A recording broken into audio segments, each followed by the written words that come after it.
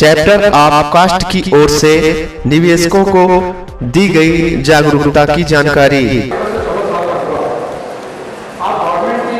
Schemes हैं जिसको उन्होंने बताया है नेशनल सेविंग सर्टिफिकेट पर वो छह साल की स्कीम है आठ मतलब शर्त समझ लिया ये गवर्नमेंट का रोज है ये रास्ता कैसा रास्ता होता है अगर आप बच्चे की तेरह चौदह साल के बच्चे की आप तक जो भी सर्विस करता है परिवार चलता है समाज में है समाज में अपने स्टेटस को मेंटेन करने में है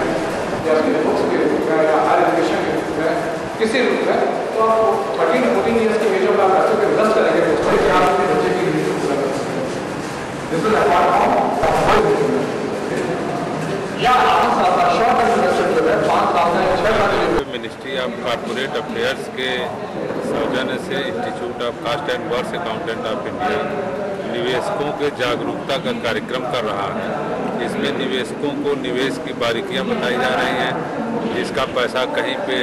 डूब रहा हो जागरूकता का क्या उद्देश्य है? सर जागरूकता का उद्देश्य है कि तमाम कंपनियाँ आती हैं मार्केट में जनता को धोखा दे के पैसा लोग जमा कर देते हैं निवेशकों को पता नहीं रहता।